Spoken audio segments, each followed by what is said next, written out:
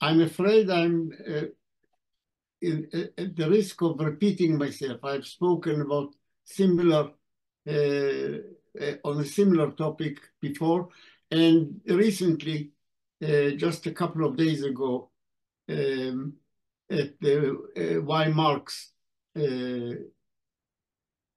series of series of uh, debates. In fact, I, uh, in in that case, it was a debate. I I represented uh, the same viewpoint that I'm going to present now. I'm going to expand a little bit on on what I said uh, the other day in that uh, uh, why Marx seminar, a web webinar. Um, I'm not going to uh, talk about uh, one state or two state in the abstract. That is to say, uh, I'm not here to say that in no at no point in the future some kind of, of resolution of the conflict uh, may not I'm, I'm not going to deny that it, it may uh, uh, perhaps take the form of a one state or two state or any, any other uh, uh, blueprint. That, that is not what I'm addressing today. I, I'm, I'd like to address the, the so-called two-state solution um, and the one-state solution as they are presented today in the form that they are advocated for uh, by various people uh, currently. Uh, I'm going to argue that uh, both are uh, illusions for but for different reasons. Uh, the two-state illusion is uh, because it, it is not, even, even if it were implemented, it's not going to be a resolution of the conflict. I mean, uh, even in the unlikely case that it will be somehow uh, implemented, it, it, if you look at the actual details of what is proposed, uh, this is not going to be a resolution of the conflict. Uh, and in fact, it's going to uh, continue the conflict in, in a somewhat different form. But uh, in any case, it is a, a, a completely uh, uh almost almost uh, impossible to imagine that, that it will be implemented even so. as for the one state or at least some version of the one state solution that is being proposed, if it were implemented, if it could be implemented uh, under present circumstances, uh, then uh, at least some versions of it uh, may resolve the conflict. The problem with it is that the, the present situation, the present uh, set of conditions that, that prevail in, in the Middle East do not allow this uh, solution to be implemented. I think uh, before looking at, this or that proposed solution, uh, I think uh, it, it's best if I address three points three uh, under three headings, if you like. First of all, what are the minimum conditions that a resolution of the conflict must satisfy? I'm talking about the conflict, of course, between Zionism and the, the Palestinian people. Uh, secondly, I'm going to say something about the nature of the conflict, which is uh, uh, very uh, uh, commonly obscured in most uh, uh, mainstream discussion of uh, the conflict. What is the, really the nature of the conflict? And uh, thirdly, I'm going to uh, address the third, under the third heading, uh, what are uh, the preconditions for uh, a proper resolution of the conflict, how a, resolution may be achieved, what is the route to achieving it.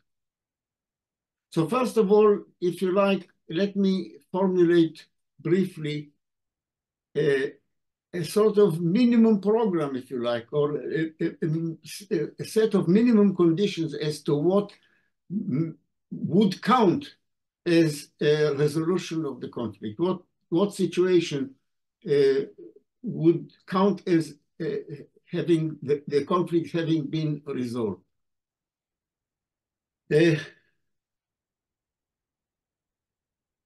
the minimum condition will include equal rights for all.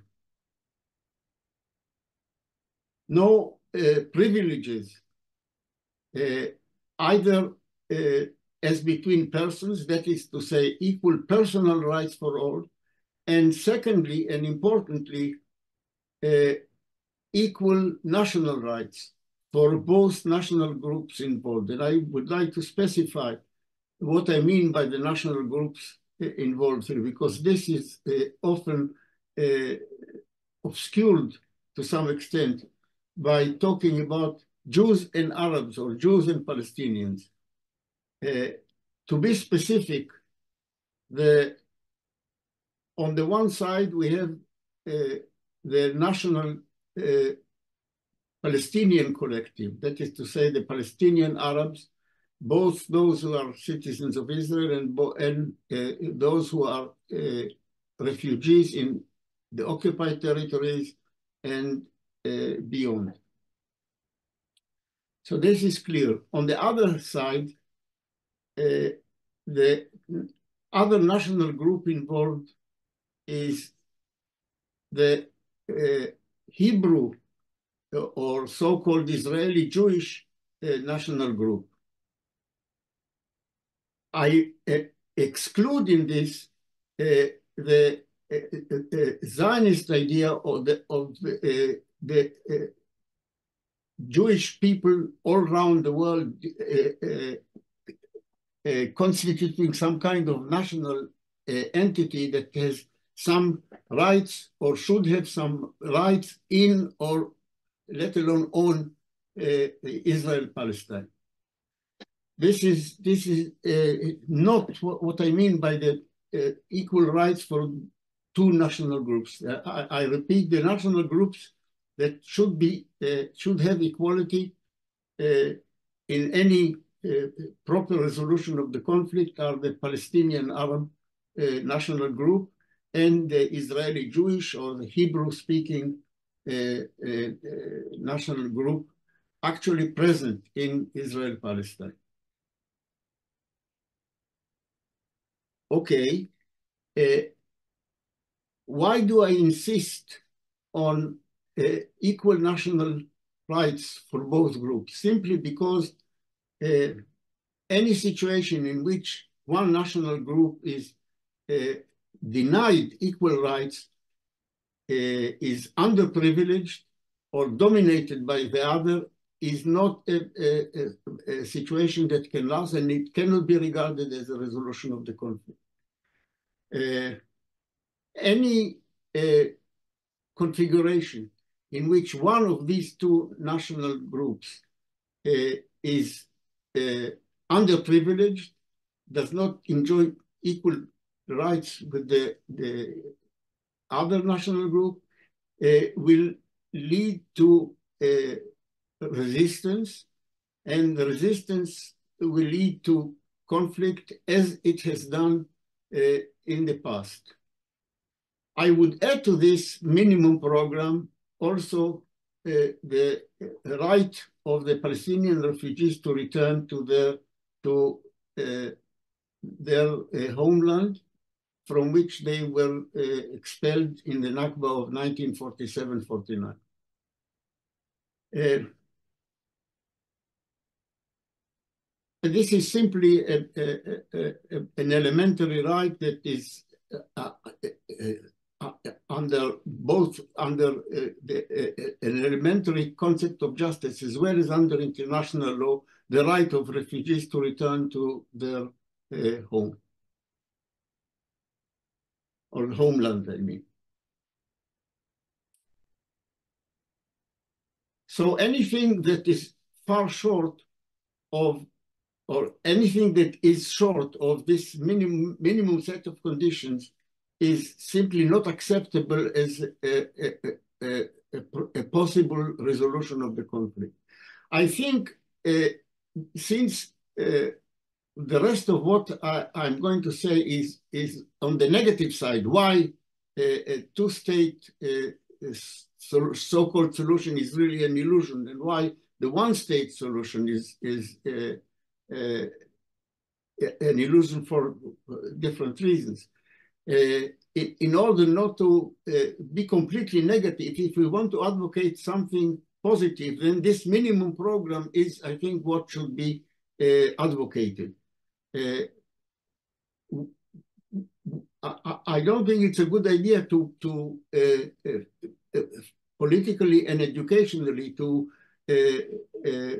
be negative, say uh, to say this is impossible, this is impossible, even if it's true. You have to uh, uh, indicate what you do advocate as a, a, a, minimum condition for the resolution of the conflict. And in this, in, in this set, very simple set of minimum conditions, equal rights uh, for all individuals, individual rights, and equal national rights, and the right of the uh, refugees to return to their homeland is, I think, uh, uh what what we should uh, positively advocate.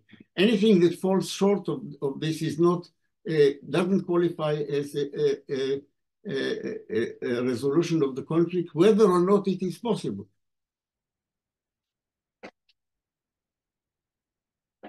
Okay, well, this is this is a, a, minimum set of conditions. Secondly, I would like to uh, say something about the nature of the conflict. I think this needs uh, specifying because there is a lot of misrepresentation and uh, confusion about it. Uh, it is if you if you look at the mainstream media, uh,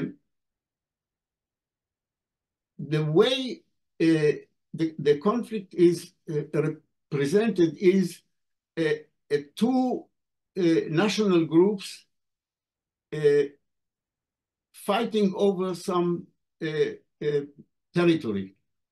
That is to say, we have two national groups claiming possession or claiming rights over a, a, piece of, of turf. One of them may be stronger than the other. Evidently, uh, uh, Israel is uh, a nuclear state. Uh, it is uh, it has a, a, a formidable army, etc., etc. It is uh, by far the stronger of the two sides, but um, it, the conflict is presented as as though it is a conflict between between two nations, like let's say France and Germany uh, in in the, the, recent past or in the 19th century. There are two two nations fighting over some uh, piece of land. Now, this uh, the, the the the reason why this uh, kind of misrepresentation, and it is a misrepresentation of the conflict, is because it is it has some surface plausibility, and this is due to the fact that uh, the conflict, which is basically a colonial conflict, as, as I shall argue, and uh, I, I, think we must uh, all understand, um, is unique among all colonial situations in which both sides, the colonizers and the colonized have crystallized as national groups.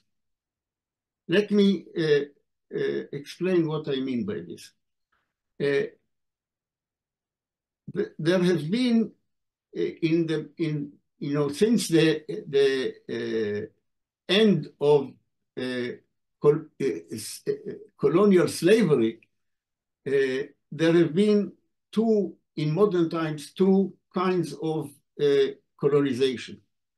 Um, Kautsky uh, gave, uh, gave, used the following terminology, a, a, colonization in which the main uh, labor force, the main uh, uh, producers were the indigenous people, where the, the economy was based on the exploitation of the, the labor force of the indigenous people, this he termed work colony. Sorry, exploitation colony. Exploitation colony. Um, the other type examples of exploitation colony are uh, uh, abundant mainly in Africa. The last uh, instance of this, which has been colonized the most recent, decolonized most recently, is that of South Africa.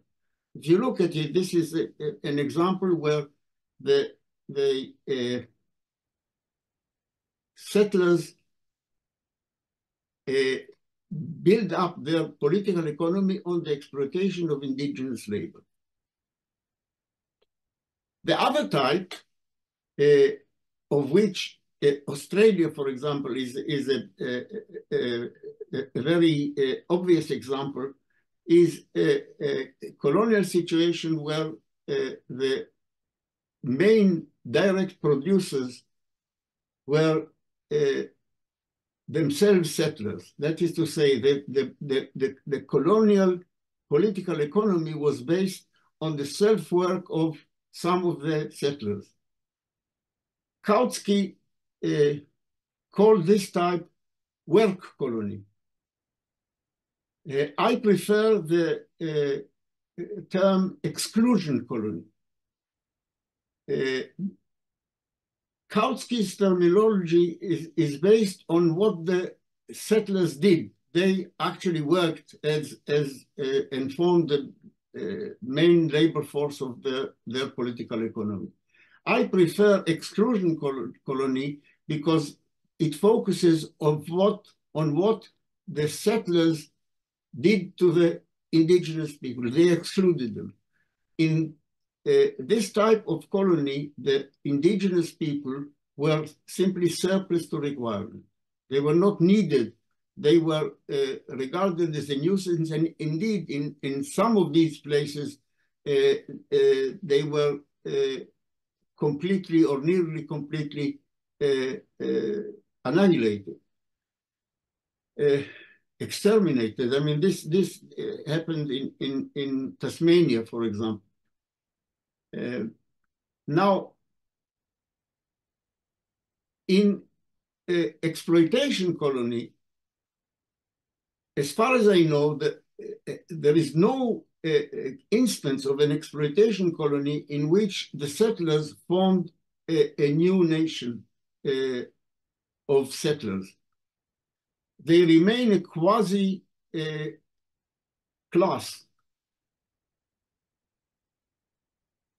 eventually, what happened was either they, uh, the colony was decolonized and the settlers may have been uh, ejected, may have, I mean, as, as happened, uh, for example, mainly in Algeria, uh, the French settlers were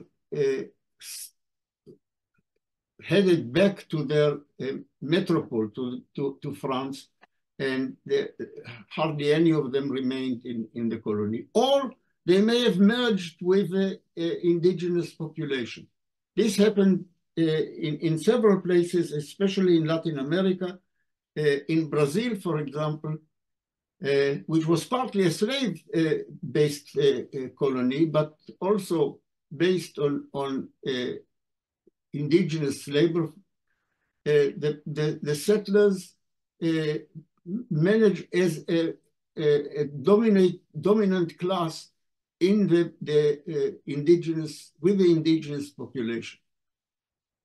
That happened in various ways, but as far as I know, there is no case in which the, the uh, settlers formed a new nation. On the other hand, the general rule is that, well, uh, there was uh, an exclusion colony, uh, such as Australia, some parts of North America, etc. The settlers formed a new nation. But in every other case, other than in Israel, other than in Palestine, the indigenous people did not uh, constitute a single national group.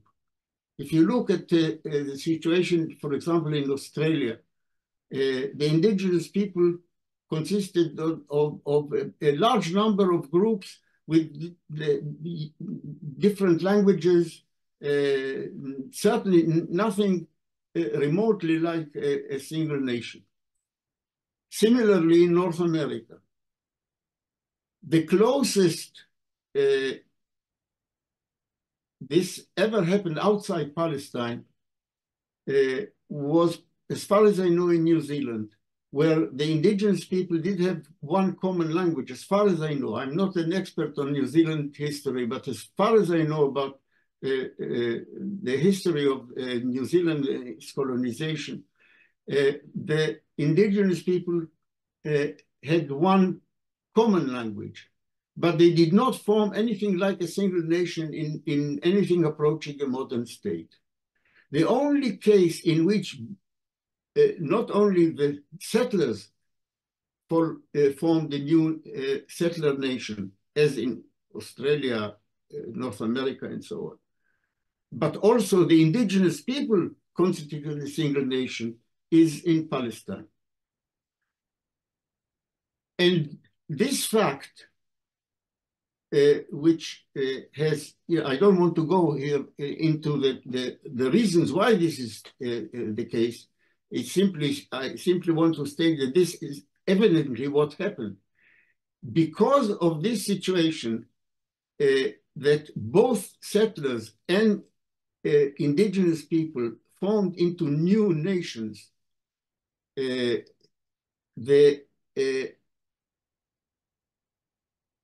the uh, colonial conflict assumed the surface form of a, a, binary national conflict, one nation against the other.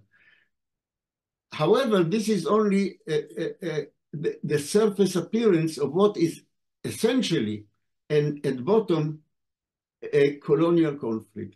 It is a, not a, a, symmetric conflict between two national groups, but it is, a, if you look at the actual uh, history and nature of the conflict as it unfolded, has it been unfolding for uh, uh, more than 120 years, it is a, conflict of colonization between colonizers and, and indigenous people, which has assumed the surface form misleadingly of a, a, a binary national conflict.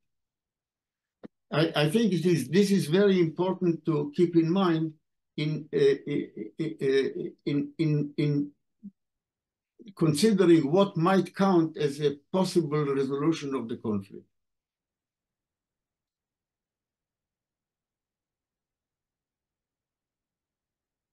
Okay. What uh, conclusion do we uh, draw from this uh, clarification, from this statement about the nature of the conflict? Since the conflict is a, a, a colonial conflict between a colonizer nation and the colonized national group, its resolution can only be one of decolonization. So we should uh, look at any proposed resolution of the conflict, any idea about how it should be resolved in terms of decolonization. By the way, I want to refer you to uh, uh, an article that I, I, wrote, I think it was in uh, 2016 for the Weekly Worker.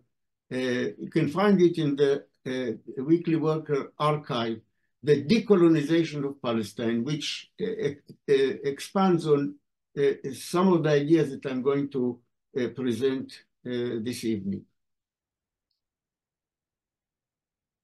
including this uh, circumstance, which I just I just mentioned, the uh, exceptional uh, one of the exceptional uh, nature of this colonial conflict, one of several uh, uh, features of the Zionist Palestinian conflict, which singles it out out of all other colonial conflicts, including uh, ones uh, where, which, which involve uh, exclusion colonization.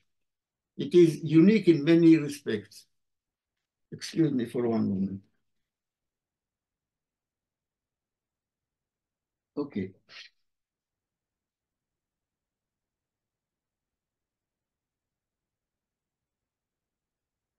Okay, now let me uh, address the uh, two uh, so-called solutions that have, been proposed. First of all, the, the two-state uh, solution. One of the many things that is wrong with it is precisely that it addresses the uh, conflict uh, on its superficial level as a conflict between two national groups you have two national groups, let them both, each of them have, have a state of its own, and that will resolve the conflict. Uh, of course, uh, this, this is based on a superficial and uh, misapprehension of what the, the, the, nature of the conflict really is. Uh, it is also a, a, a, a, resolution that is in practice uh, virtually impossible to uh, uh, envisage uh, being implemented. Zionism is a, a, work in progress. It is based on the uh, claim of uh, the Zionist uh, movement of the Zionist uh, regime, which is uh, wedded to the Zionist project of colonization to complete the colonization of Palestine. Um, the uh, Zionists claim to have uh, uh, the right to the whole of the, the, territory of Palestine, at the very least, between the sea, between the Mediterranean Sea and the Jordan River. Uh, both uh, main, main camps of, of the Zionist movement, the one uh, originally led by Ben Gurion, uh, the so-called labor Zionism, Zionism, which uh, has now dwindled to uh, insignificance, as well as the, the revisionist wing of Zionism led by uh, Zev Jabotinsky, which is now uh, the dominant uh, power in Israel. Both of them claimed uh, the right of uh, the, the Jewish people in, in, their terms to the whole of the Palestinian territory in, between the uh, Mediterranean Sea and the Jordan, Jordan River except that the, the right wing, the revisionist, revisionist Zionist also claimed a, a right to the other side of the Jordan, to what is today the Kingdom of Jordan, which was at the turn of the 20th century, Transjordan, the Emirate of Transjordan, and is now the, the Kingdom of Jordan. In principle, uh, revisionist Zionism claimed the right uh, to colonize also that uh, Transjordanian, a part of what used to be Palestine before it was partitioned by Churchill into Cisjordanian Palestine under the British mandate and uh, Transjordanian Palestine.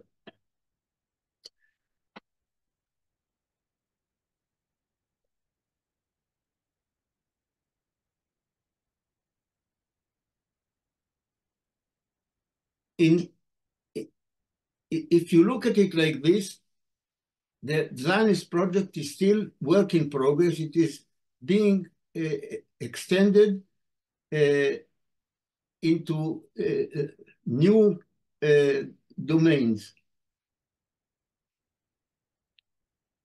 Uh,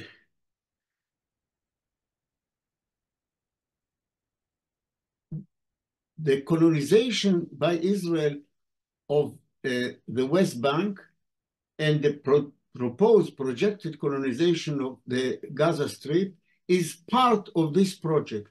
That is to say, to uh, create a situation where uh, Jews colonize the whole uh, uh, space between the Jordan and the, and the uh, Mediterranean Sea. In in, in view of achieving this aim, where, uh, in which Israel is not merely a product of Zionist colonization, but a, a, an instrument, a, a, means for its further extension and, and expansion, uh, uh, since 1967, Israel has been uh, colonizing uh, furiously the uh, West Bank. Uh, the, this happened both under labor Zionism and the governments dominated by labor Zionist, Zionism, which, which has now dwindled in, into insignificance, and uh, by uh, uh, the inheritors of revisionist Zionism. How, uh, uh, so at, at, the same time, uh, Israel has been on and off negotiating in, in bad faith about the implementation of, of a two-state solution in response to pressure by the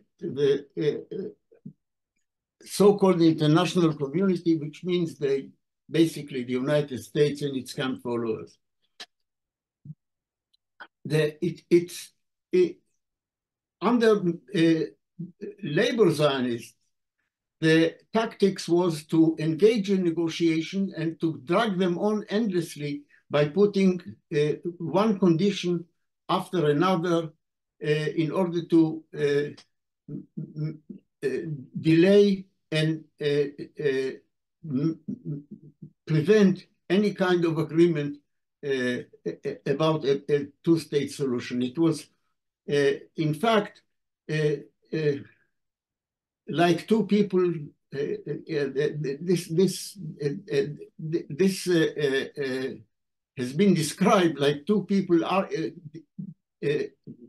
arguing, negotiating over how to divide the pizza, while one of them was eating piece after piece of the pizza while they were still talking about how to divide it. Uh, in fact, uh, if you look at the actual uh, situation on the ground, there is nowhere where a, a, a Palestinian state alongside Israel could, could uh, uh, be instituted. Uh, there's simply no, no, no territory left, which is contiguous and, and makes sense as, as a, territory for a state alongside Israel. the Likud governments have actually been very explicit in, in outright opposition to uh, uh, any kind of uh, Palestinian state, however um, emaciated, however uh, emasculated uh, it, it, might be. Uh, Netanyahu is on record saying simply no, no to any Palestinian state.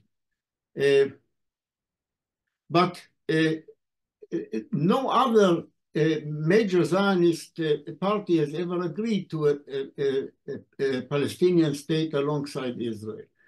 People are under the uh, false impression that uh, Rabin, uh, in uh, making the Oslo agreement with the PLO, uh, agreed to a, two-state solution.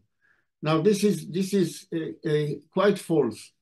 The Oslo Agreement has not a single word about a Palestinian state. It is the, the, the whole notion of a Palestinian state is, is, is completely uh, missing in, in, the Oslo Agreement if you actually read the, the text.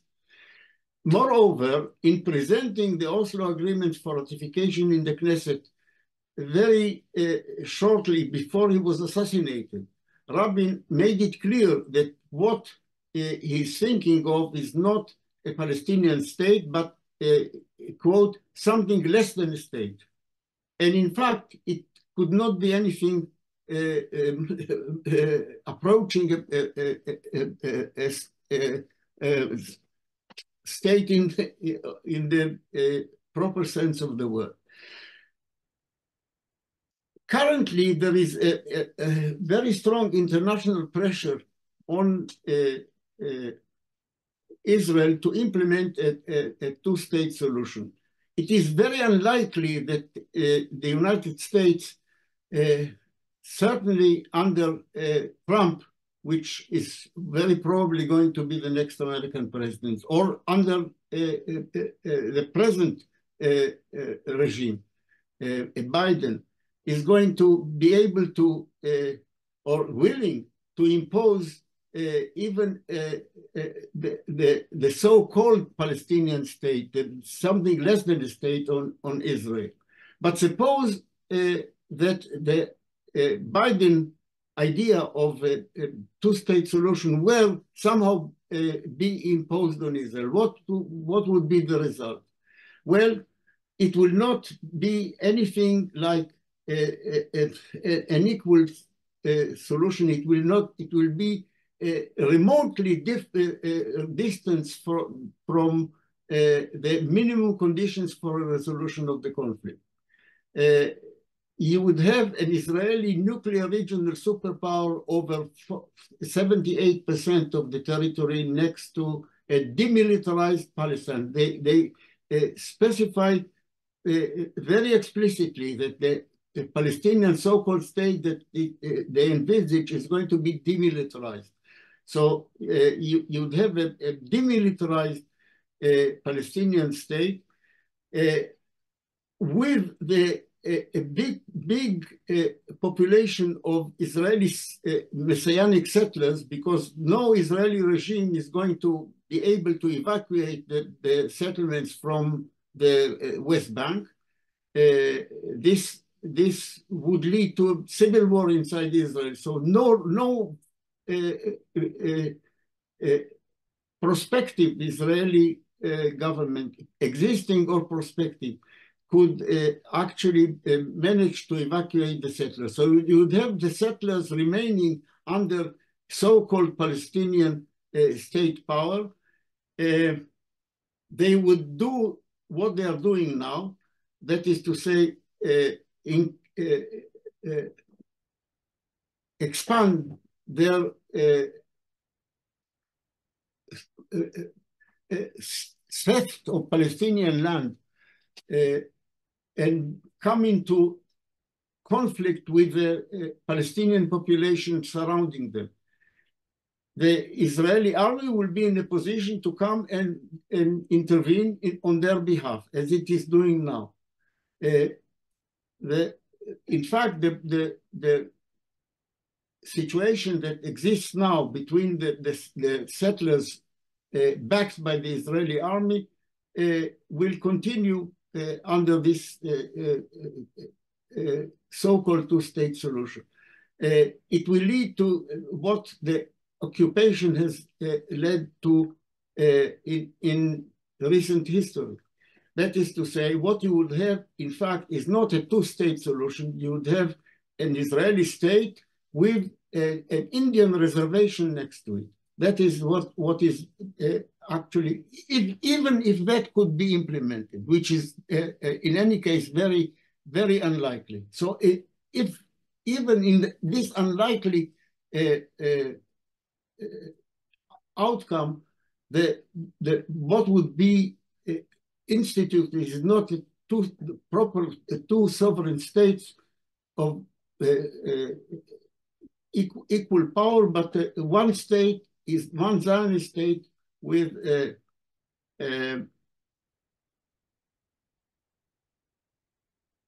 a, a sort of Indian reservation or uh, uh, ne next to it, uh, or a Bantustan, if you want to use the somewhat inappropriate South African analogy. I would prefer the analogy with the North American model of Indian reservation. So this is this is uh, uh, not going to be implemented, and if it were implemented, it would not be a resolution of the conflict, two state. I don't have very much time, as I see, to to discuss the one state. I think I I I I'll say very briefly. Some versions of the one state solution, as it is as are uh, being proposed, actually do satisfy the minimum conditions. Uh, they uh, do uh, presuppose the overthrow of the uh, Zionist colonial regime.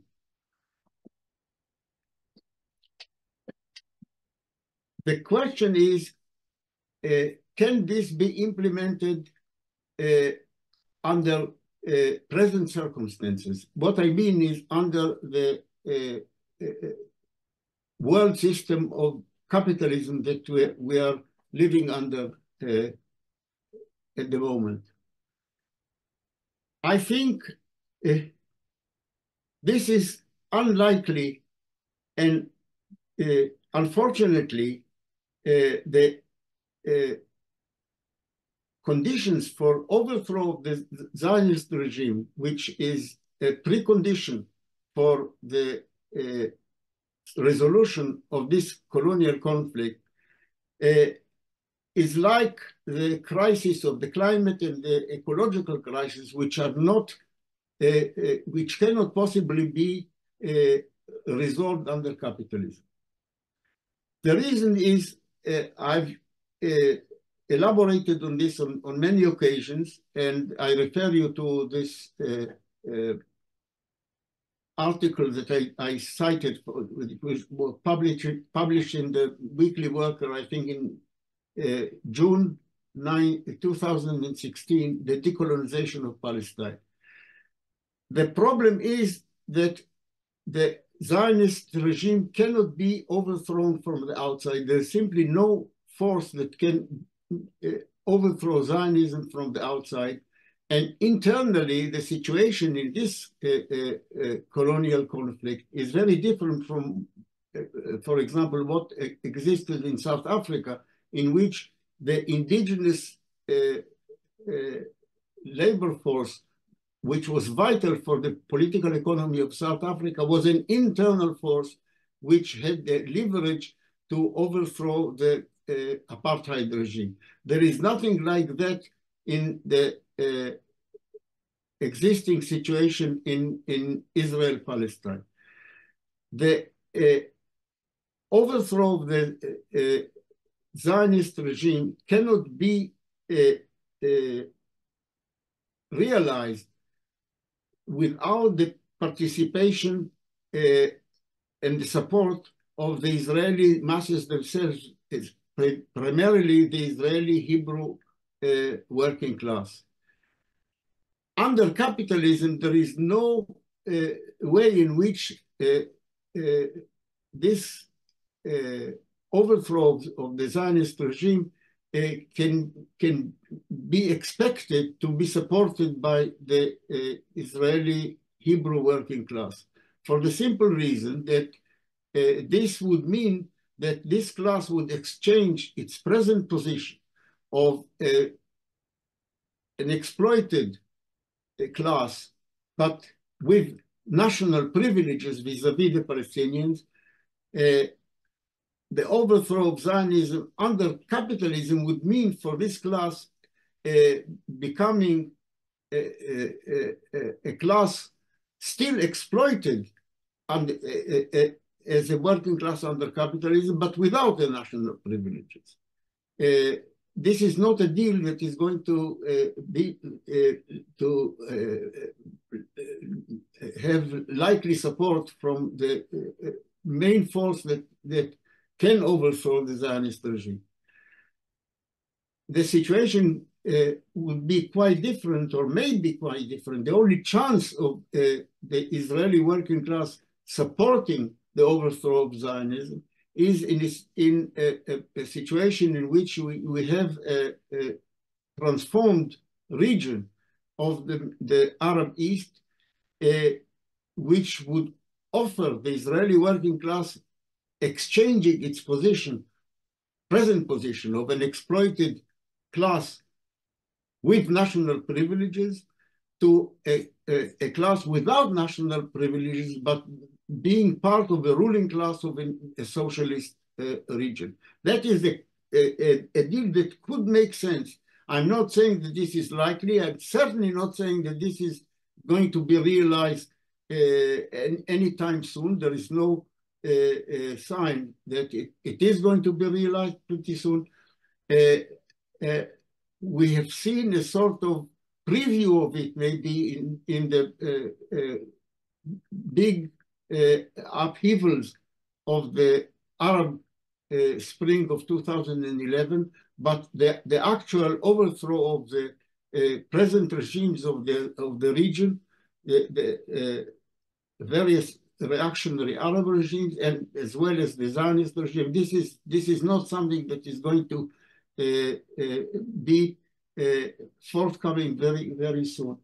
So I, I'm, I'm sorry to end in, in a, a rather pessimistic note. However, let me return to what I said in the beginning. If we want to put forward something positive, then the, the, the uh, I think the best the best thing to, to do is to put forward the minimum uh, conditions for a resolution. What what do we?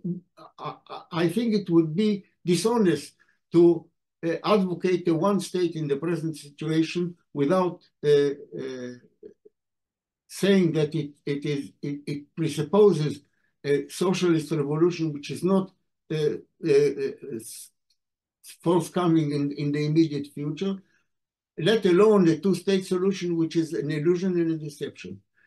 If you we, we want to put forward something positive, then the positive uh, uh, uh, message that we can project is the minimum program. We demand uh, equal rights for all, equal rights on the individual level, that is to say, equal equal civil and individual rights, and equal uh, uh, rights for both national groups involved. Uh, as well as the right of the Palestinian refugees to return to their homeland. Thank you. This is, uh, I think, as, as far as I prepared to say.